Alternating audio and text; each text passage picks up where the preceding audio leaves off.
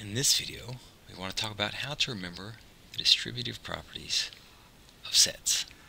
In other words, equations like these two here. Now, you might have found yourself at one point or another dealing with something like this and trying to go through it thinking about the meaning of these symbols and thinking, okay, if there's something in this set, in other words, in A intersect B union C, then that means X must be in A and it's in the union of B and C, which means it could be in the an A intersect B, uh, or it could be in A intersect C. Right? Okay, if you've ever found yourself in that situation, then what you're basically doing is deriving this identity every time you use it. And this video is about having a simple mechanical method for performing this operation. And the reason that it might seem difficult is because we don't usually deal with different versions of the distributive property, right? Here, the intersection could be on the outside, and the union is on the inside, or the union can be on the outside and the intersection is on the inside. Usually, when dealing with the distributive property, namely with multiplication and addition, we have something like this, right? 3 times 7 plus 4. And we all know what that means. That means 3 times 7 plus 3 times 4, right? We never deal with the situation where these two things are swapped. So we've never really been forced to understand what's going on here. In other words, we never are in the situation where we have something like this supposedly meaning 3 plus 7 uh, that would be times and then 3 plus 4 right we're never in that situation because this is simply wrong right? If we add that up, we get 3 plus 28, we get here 31. And on the right side, we have uh, 10 times 7 be 70, right? That is simply incorrect. We've never really had to understand because we only ever see one version. We think of this as multiplying it out, as it were. And while that's true, uh, it's mostly probably been learned by habit. If, however, we think of the meaning of this word distributive, that just means to be giving something to somebody else, right? Or putting it in a different place, then we can come up with a way of dealing with these equations easily.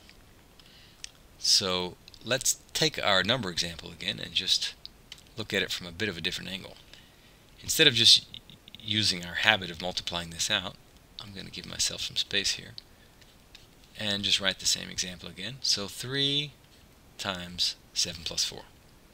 Actually, all that means to distribute is that I'm going to distribute these two symbols, the 3 and the dot.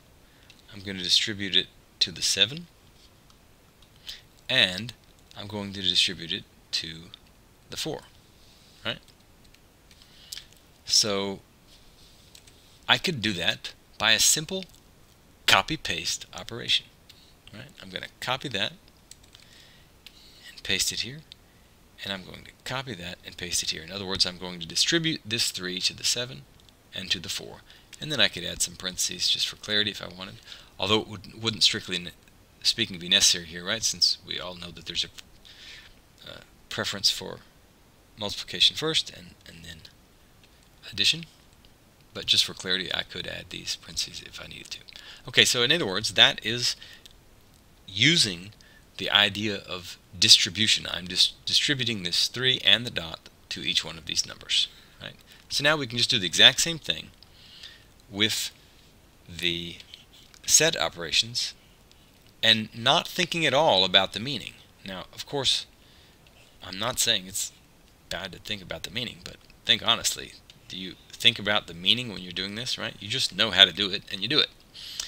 So, what we want to do here, and, and I'll, give myself some space again, is uh, just distribute these two symbols here. So I'll just do a copy paste. We'll distribute these two here, and we'll distribute these two here. Right? And again, I can add my parentheses for clarity. Here I do actually need them for clarity, and I'm done. We can do another example. We could say A intersect B, and this time the parentheses are over on the left, uh, union C. And again, I'll give myself some space.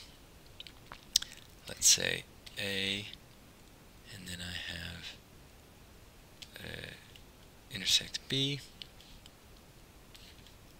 union C. That simply means I'm going to do a copy paste, distributing this to that, and distributing this to that, and adding my parentheses, and I'm done. So now we have a way of mechanically carrying it out this operation, which is fast and reliable, without having to derive each one of these distributive properties of sets every time we use them.